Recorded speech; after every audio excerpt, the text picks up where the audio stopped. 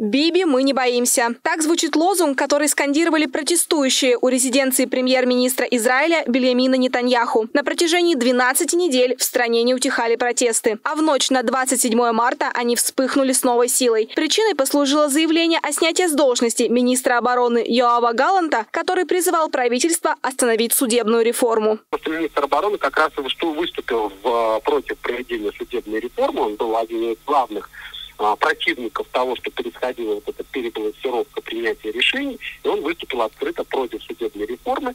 Его уволили, и, соответственно, он стал определенным символом а, противостояния вот с этой а, системой власти. Голодовка в знак протеста против политики Нетаньяху. Так свое несогласие выразили главы нескольких муниципалитетов Израиля. А около 6% населения страны вышли на улицы, требуя отставки правительства. Протестанты били в барабаны, жгли костры и хотели устроить палаточный лагерь на шоссе Аялан. Также были настроены баррикады из мусора и покрышек. В ответ на это полиция применила слезоточивый газ и водометы. Манифестанты обошлись бутылками и камнями. Но уже к середине ночи большая часть протестующих покинула улицы. Пожарные приступили приступили к тушению костров, а рабочие стали разбирать завалы на шоссе. Скажем так, перебалансировка власти э, в пользу двух ветвей власти против третьей власти, да, я как объяснял, да, то есть фактически сегодня исполнительная законодательная власть между собой консолидирует усилия, а судебная теряет свою позицию. Вот эта перебалансировка, она, по всей видимости, не демократична в понимании протестующих, может привести в дальнейшем каким-то а, моментом, связанным с узурпацией власти, с э, сосредоточением власти в одних руках. И вот, собственно, в этом и смысл э, вот этих протестных акций.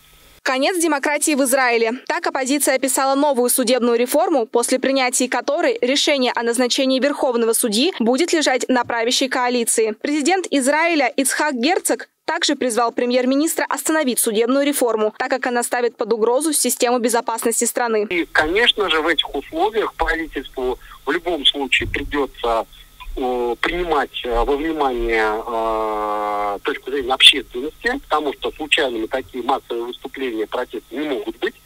И действительно, власть э, для того, чтобы каким-то образом урегулировать ситуацию, должна искать компромиссные решения. В результате протестов пострадали несколько десятков протестующих и трое полицейских. А утром 27 марта Нетаньяху сообщил руководителю правительственной коалиции о том, что судебная реформа, возможно, будет остановлена. Анастасия Уткина, Алина Красильникова, Univer News.